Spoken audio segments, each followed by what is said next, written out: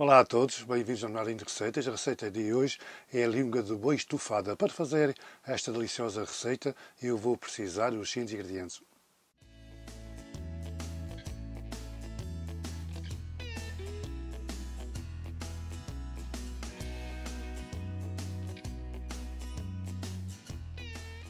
Uma língua de boi, 3 cebolas médias fatiadas, 300 gramas de ervilhas, metade de um pimentão amarelo e metade do pimentão verde fatiado às tiras, tomate cereja em conserva de 400 gramas, uma colher de sopa de puré de tomate, salsa a gosto, uma colher de chá de coral picante, azeite, duas folhas de louro e três dentes de alho picados, bovril a gosto, pimenta em grão a gosto, e sal grosso. Vou dar início à receita, língua de boi estufada. Tenho aqui uma panela de pressão com água a ferver. Vou já adicionar a língua, a pimenta em grão, sal grosso, tapar a panela e deixar a ferver durante 35 minutos após levantar a fervura.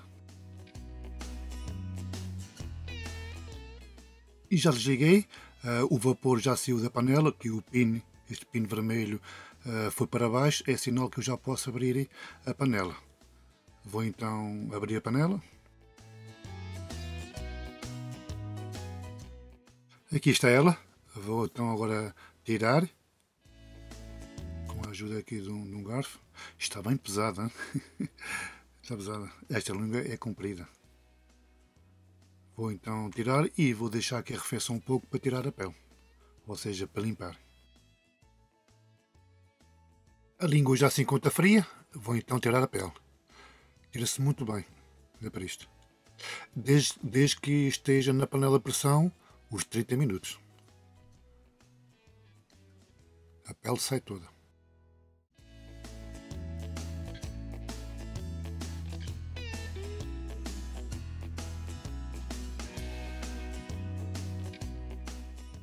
Com esta pele pode fazer um cinto.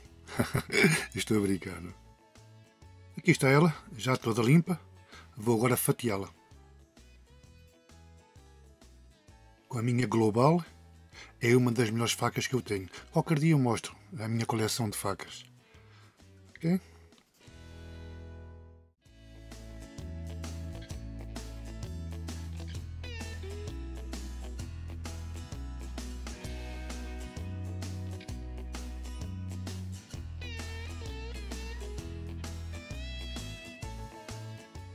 Aqui está a língua toda fatiada. Agora vou para o tacho.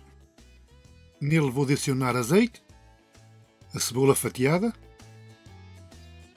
o alho picado, o pimentão, mexer um pouco e depois vou tapar o tacho e deixar a cozinhar até a cebola e o pimentão ficarem macios.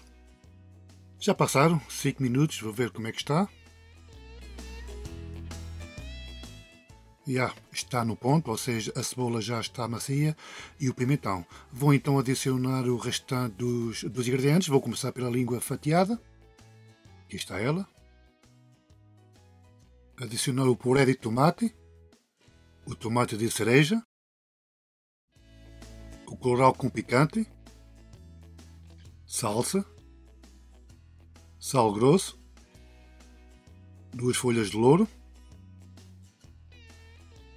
Mexer muito bem, uh, deixar a cozinhar durante 20 minutos, não é preciso mais porque a, a língua está bem, está bem cozida, uh, e tapar o tacho, mas entretanto vá sempre verificando que às vezes pode precisar levar um pouco de água para não ficar assim tão, tão seco.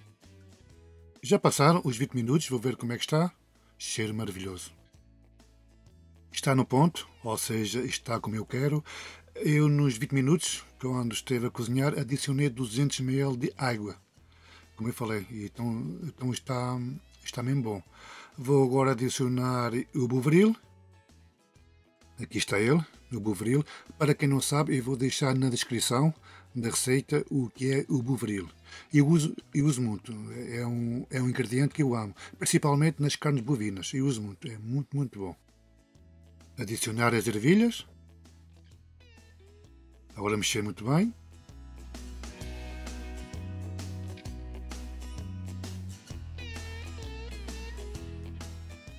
Tapar o tacho e deixar a cozinhar durante 5 minutos. Passaram os 5 minutos, vou ver como é que está, mexer um pouco. Vou agora retificar como é que está a sal. Poxa, queria que viesse um, um bocadinho de língua. hum, delícia. Muito, muito bom. Hum. De sal não é preciso, está, está no ponto. E de tempero então, nem vou falar. Vou, vou agora desligar o fogão tapar o tacho e deixar a pousar um bocadinho e uns 4 minutos. E depois vou então preparar os pratos. Aqui está um dos pratos já preparado para levar à mesa. Uh, para acompanhar fiz uma batata cozida, mas pode, pode fazer o que mais desejar, por exemplo, uh, uma massa, um arroz, está no critério de cada um. Espero que tenham gostado da receita e até à próxima. Um abraço a todos. Olá, gostou da nossa receita? Dê um like e inscreva-se no nosso canal. Lá encontra este tomzinho vermelho. Inscreva-se, não paga nada por isso e ajuda muito a melhorar o nosso canal. Também temos um site, você aqui encontra as mais variedades de receitas portuguesas e brasileiras. Por exemplo, temos receitas de carnes, receitas de peixe, aves, mariscos, eh, receitas de vegetais, sobremesas. Também temos dicas por exemplo, assar um chouriço menos de 2 minutos. Temos muitas sugestões para, para a sua cozinha. Muito obrigada pela vossa atenção. Até à próxima receita e um abraço a todos.